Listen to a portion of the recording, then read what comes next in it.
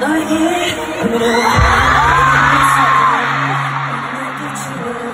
기다렸던 곁으로 우리 힘이 되어 어쩌면 우주에서 언니 그냥 그랬던 거야.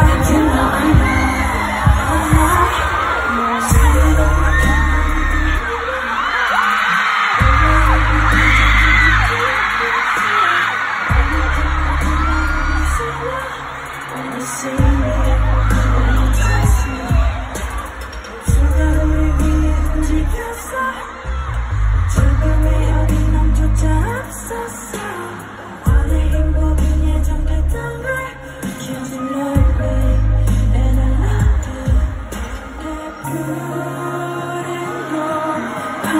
높은